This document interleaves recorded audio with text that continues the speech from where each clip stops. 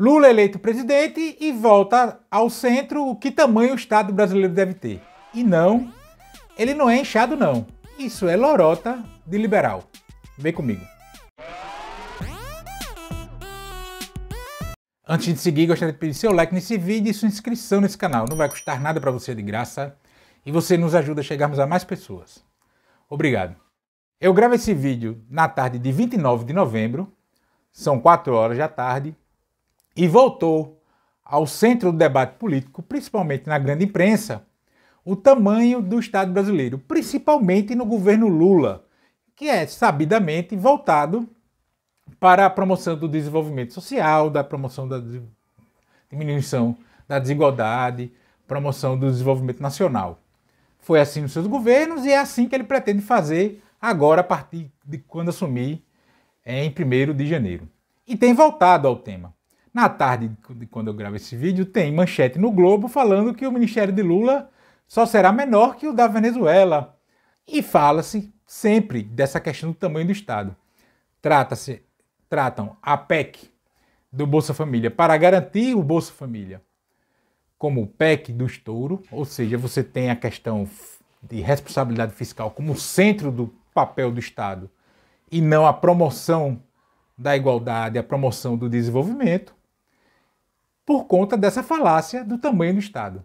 E a partir disso, a defesa escancarada de privatizações, de diminuição do poder de indutor da economia do Estado brasileiro. E há dois pontos centrais que baseiam, que balizam esse debate sobre, sobre na verdade, essa falácia, debate não, essa falácia sobre o tamanho do Estado brasileiro. A quantidade de servidores públicos que existe no Brasil e os seus salários, como se fossem altos, como se fossem pessoas que ganham rios de dinheiro para não trabalhar. Porque é esse o imaginário que a lorota liberal tenta vender como verdade a todo instante. Dados da OCDE, Organização para a Cooperação e Desenvolvimento Econômico, apontam que em 2015, é o dado mais recente que eu encontrei, mas serve para a gente balizar, em 2015, apenas 1,6% da população brasileira era composta de servidores públicos. E quando eu falo servidor público, entenda das todos os poderes, dos três poderes, executivo, legislativo e judiciário, em todas as suas esferas, federal, estadual, municipal, enfim, cargos de comissão, etc. Apenas 1,6% da população brasileira era composta de servidores públicos.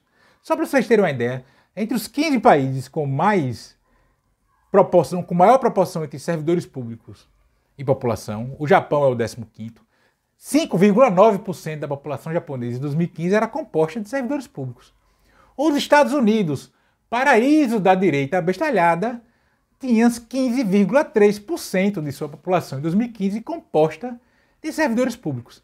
A Noruega, que é o que lidera o ranking, tem 30% de sua população, tinha em 2015 30% de sua população composta de servidores públicos. Em seguida veio a Dinamarca com 29,1%, depois a Suécia com 28,6%, Finlândia com 24,9%, França com 21,4%, Canadá com 18,2%, Grécia com 18%. Percebe? Quanto melhor a qualidade de vida dos países, maior a proporção de servidores públicos.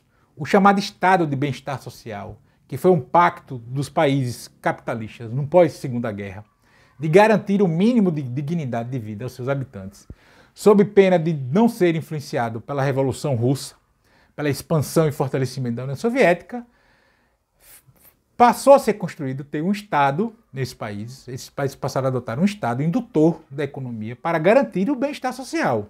E no Brasil, apenas 1,6% de sua população em 2015 era composta de servidores públicos.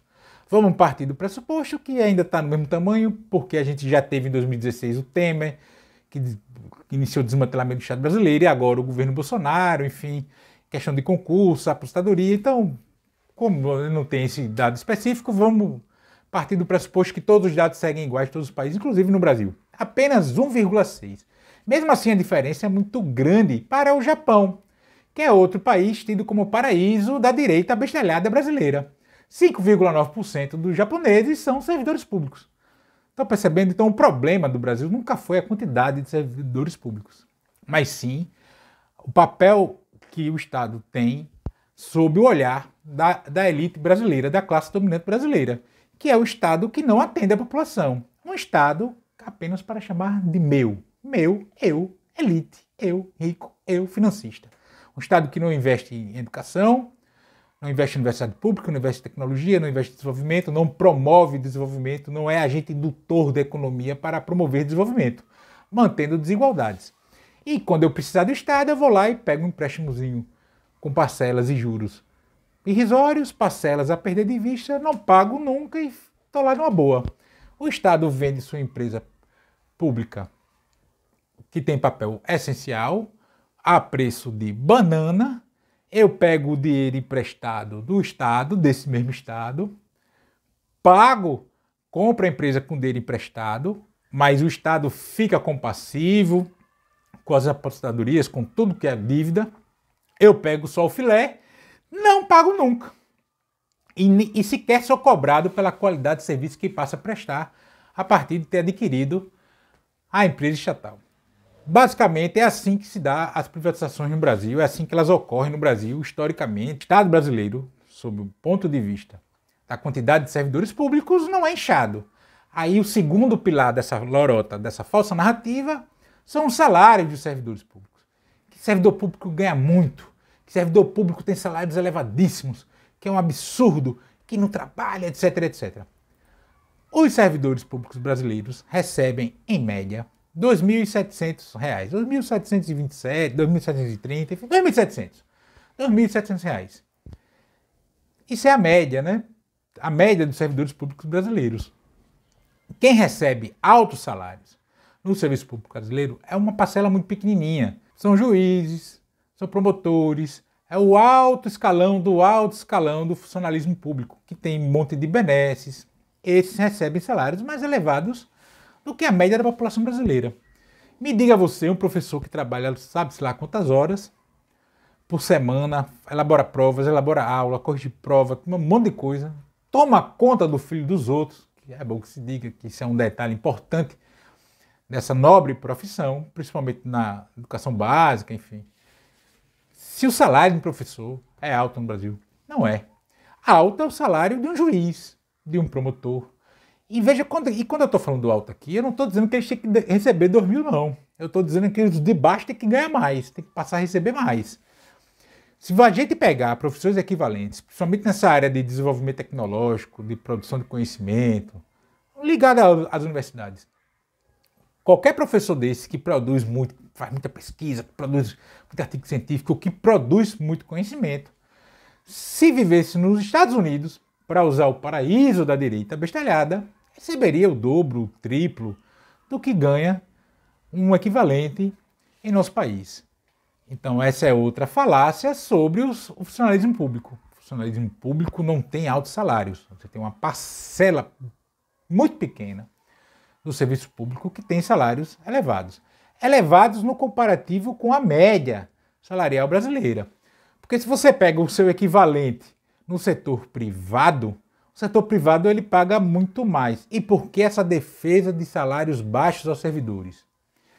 Porque se gera o desinteresse das pessoas procurarem o serviço público, de atuarem no serviço público, de atuarem no Estado brasileiro, é maior a chance do Estado brasileiro ser sucateado, porque a população não tem interesse no Estado brasileiro. E aí o serviço público, para também para uma parcela muito pequena, pagará altos salários, porque a gente sabe que o salário do serviço privado é baixo igual. O capitalismo ele trabalha com o chamado exército industrial de reserva, então é preciso ter algum grau de desemprego. Então, se eu tenho um Estado fraco, que emprega pouco, que tem poucos servidores, eu garanto essa margem de desempregados. E essa margem de desempregados serve para quê? Para garantir achatamento de salários. Salários achatados, maior distinção social, porque até nessa, nesse valor cultural, o Brasil jamais superou o período escravocrata. É, não foi à toa que nos governos Lula e Dilma, com a, a ascensão dos mais pobres, a gente via artigos de madames aí falando que não tinha mais graça aí a Disney ou aos Estados Unidos, a Nova York, sei lá onde era, porque a empregada, o filho da empregada estava indo também. Ou seja, não quero que os, eu não quero ser, necessariamente eu não quero nem ser milionário. Eu quero que o pobre fique, continue pobre, lascado, lá embaixo, longe de mim. Que não consuma as mesmas coisas que eu consumo. Daí que vem parte do preconceito de classe, da chamada classe média. Tão perto da pobreza, tão mais perto economicamente dos moradores em situação de rua, por exemplo, do que dos grandes barões, dos grandes ricões, de fato, dos milionários de fato do país. Mas na hora de defender os interesses, a classe média defende os interesses do de cima, não de que tem mais perto dela. Só para fazer um arredondamento, se você, meu amigo, meu amigo, que está assistindo esse vídeo, por um acaso, você tiver 10 milhões na sua conta, você está mais perto do morador de rua do que do cara mais rico do Brasil. Provavelmente você, você provavelmente não, você está mais perto do morador de rua do que desse ricão aí. Mas você, na hora de defender os interesses, você defende o interesse dele. E não do de baixo. Que, que via de regra, não é escala talvez diferente, é o mesmo interesse seu. E esse tema voltou ao debate político. Porque o Lula vai assumir o de janeiro, já falou que vai refazer ministérios que foram destruídos e que vai adotar políticas públicas de fato para o Estado investir. A fome voltou ao Brasil, nós temos mais de 30 milhões de brasileiros passando fome, isso precisa ser resolvido. As universidades estão sendo sucateadas, elas precisam voltar a ter um patamar de investimento minimamente civilizado. Então, há uma série de fatores que o Estado brasileiro precisa investir. A Petrobras vai deixar de atender os interesses dos financistas, dos seus acionistas estrangeiros, derrubando a política, a paridade de preço internacional e fazendo a Petrobras ser agente indutora de, de desenvolvimento. Isso não quer dizer que os acionistas vão deixar de receber dividendos. Isso nem é permitido por lei. Isso nunca ocorreu. Quer dizer que eles receberão menos, porque recursos da empresa não são para pagar acionistas, são para promover desenvolvimento, inclusive da própria empresa. O, lucro, o dinheiro entra, eu pago o que tenho que pagar, eu invisto em mim mesmo para produzir mais, para gerar mais riqueza. E nesse meio tempo, paralelamente, eu promovo, ajudo a promover o desenvolvimento, no caso do Brasil. A Petrobras é a principal empresa brasileira, é a empresa que tem maior capacidade de promoção do desenvolvimento. E aí a gente só vai ter valorização, de fato, do nosso povo, do nosso país, com um Estado forte e indutor. Não é Estado inchado, é Estado necessário. E o Estado brasileiro está aquém do necessário há muito tempo. Repito, só 1,6% dos brasileiros são servidores públicos. E nos Estados Unidos, o paraíso da direita bechalhada, 15%. Só isso explica a capacidade de antipovo, capacidade de antipovo que tem a classe dominante brasileira. E esse debate do tamanho do Estado e, quanto, e o quanto o governo Lula, o Estado brasileiro, deve investir em políticas públicas está voltando à centralidade do debate político, principalmente na grande imprensa. O que mostra o seu caráter elitista, ao mesmo tempo que é bom, porque a gente não está mais discutindo cloroquina para a Covid. Mas e você, o que acha disso tudo? Deixa aqui.